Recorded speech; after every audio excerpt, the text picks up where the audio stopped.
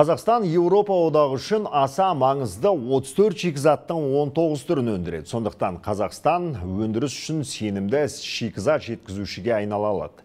Қазақстан Франция инвестициялық дөңгелек үстеліне қатысқан президент осылай деді.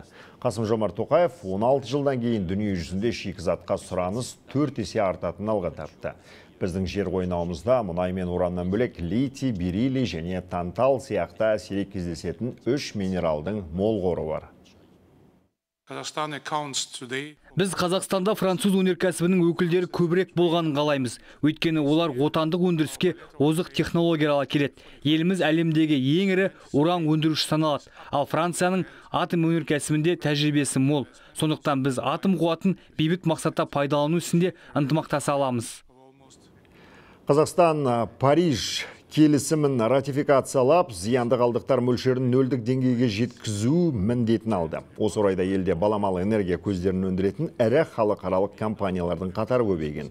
Мәселен, француздың Total Energies компаниясы 1 миллиардтан аса долларға 1 гигаватт жел электр станциясын салуды жоспарлап отыр.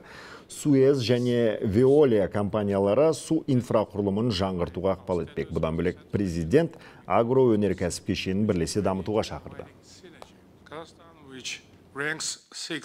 Қазақстан астық экспорттаушылардың ірі ондығына кіреді. Сыртқы нарыққа 8 миллион тоннадан астам бидай мен 2 миллион тонна ұн шығарады. Өнімдері әлемнің 80-нен астам еліне жеткізіледі. Биыл егіннің бітік шығу нәтижесінде еліміздің астық экспорттау әлеуеті 12 миллион тоннаға дейін артты.